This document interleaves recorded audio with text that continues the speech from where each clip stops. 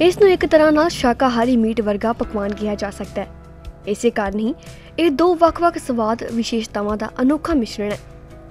ਰਸਗੁੱਲਾ ਮਿਠਾਈਆਂ ਦਾ ਰਾਜਾ ਮੰਨਿਆ ਜਾਂਦਾ ਹੈ ਅਤੇ ਮਿਰਚ ਐਂਟੀਆਕਸੀਡੈਂਟਾਂ ਦਾ ਭੰਡਾਰ। ਹੁਣ ਤਾਜ਼ੀ ਮਿਰਚ ਨਰਮ ਮਿੱਠੇ ਰਸਗੁੱਲਿਆਂ ਨਾਲ ਮਿਲਾ ਦਿੱਤੀ ਜਾਂਦੀ ਹੈ। ਪੱਛਮੀ ਬੰਗਾਲ ਦੇ ਵਰਧਮਾਨ ਵਿੱਚ ਇੱਕ ਮਠਿਆਈ ਦੀ ਦੁਕਾਨ ਹੈ, ਜਿਸ ਦਾ ਨਾਮ ਹੈ ਨੇਤਾਜੀ ਕਨਫੈਕਸ਼ਨਰੀ।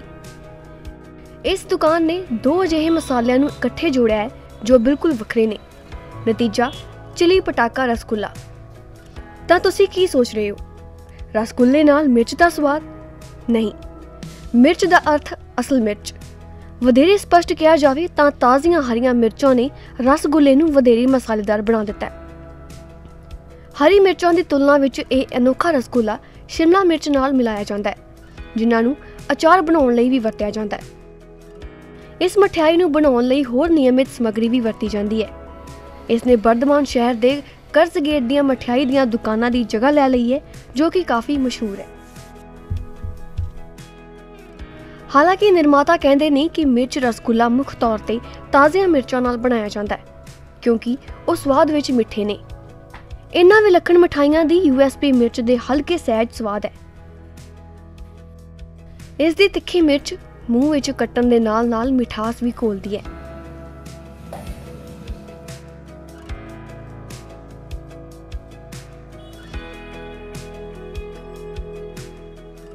স্বাদ খুব দারুণ দারুণ স্বাদ মানে বেশ ঝাল লঙ্কার স্মেলটা ਇਹ ਸੱਚਮੁੱਚ ਬਹੁਤ ਸਵਾਦ ਹੈ ਤੁਸੀਂ ਮਿਰਚ ਦੀ ਖੁਸ਼ਬੂ ਲੈ ਸਕਦੇ ਹੋ ਅਤੇ ਇਹ ਮਸਾਲੇਦਾਰ ਵੀ ਹੈ ਤੁਸੀਂ ਇੱਕ ਰਸਗੁੱਲੇ ਵਿੱਚ ਮਿੱਠੇ ਅਤੇ ਮਸਾਲੇਦਾਰ ਮਿਰਚਾਂ ਦਾ ਸੁਮੇਲ ਲੈ ਸਕਦੇ ਹੋ ਇੱਥੋਂ ਤੱਕ ਕਿ ਬੱਚੇ ਵੀ ਇਸ ਦਾ ਸਵਾਦ ਲੈ ਸਕਦੇ ਹਨ ਅਸੀਂ ਤਾਜ਼ੀ ਮਿਰਚ ਦੀ ਵਰਤੋਂ ਕੀਤੀ ਹੈ ਇਸ ਨੂੰ ਬਣਾਉਣ ਲਈ ਦਹੀਂ ਅਤੇ ਮਿਰਚ ਦੀ ਵਰਤੋਂ ਕੀਤੀ ਅਤੇ ਗ੍ਰਾਹਕਾਂ ਵਿੱਚ ਇਸ ਦੀ ਭਾਰੀ ਮੰਗ ਹੈ আমাদের বেশ ভালোই বিক্রি হচ্ছে প্রতিদিন দারুণ বিক্রি হয় ਨੇਤਾਜੀ ਮਠਾਈ ਭੰਡਾਰ ਦੇ ਮਾਲਕ ਦਾ ਕਹਿਣਾ ਹੈ ਕਿ ਔਰਤਾਂ ਮਿਰਚੀ ਪਟਾਕਾ ਰਸਗੁੱਲਾ ਦੀਆਂ ਤੁਰੰਤ ਪ੍ਰਸ਼ੰਸਕ ਬਣ ਗਈਆਂ ਸਨ অনেক মেয়েরা রসগোল্লা খেতে চায় না কিন্তু ਕੁਝ ਔਰਤਾਂ ਨੂੰ ਰਸਗੁੱਲੇ ਦੀ ਮਠਾਸ ਪਸੰਦ ਨਹੀਂ ਹੁੰਦੀ ਪਰ ਇਸ ਨੂੰ ਚੱਖਣ ਤੋਂ ਬਾਅਦ ਉਹ ਹੋਰ ਖਾਣ ਦੀ ਇੱਛਾ ਰੱਖਦੀਆਂ ਹਨ ਹੁਣ ਇਸ ਦੀ ਔਰਤਾਂ ਵਿੱਚ ਭਾਰੀ ਮੰਗ ਹੈ ਤੁਸੀਂ ਇਸ ਨੂੰ ਮਸਾਲੇਦਾਰ ਰਸਗੁੱਲੇ ਦਾ ਨਾਮ ਵੀ ਦੇ ਸਕਦੇ ਹੋ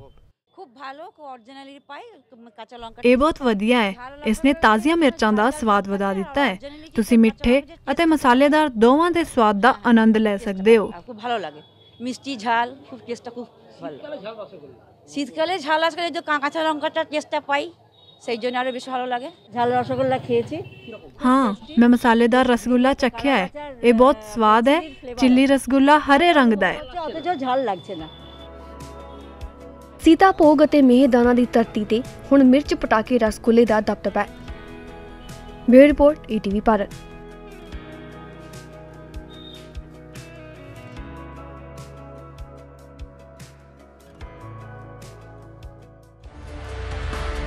To watch 24 into 7 News Live, download ETV Bharat app.